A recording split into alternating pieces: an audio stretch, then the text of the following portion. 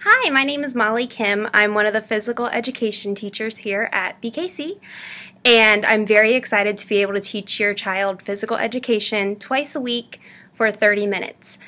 We've been working on galloping and skipping and moving safely in the gym, and throughout the year we'll we will continue to work on that as well as throwing and catching and kicking.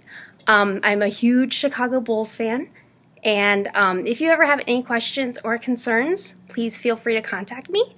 And I hope to have a great year. Thank you.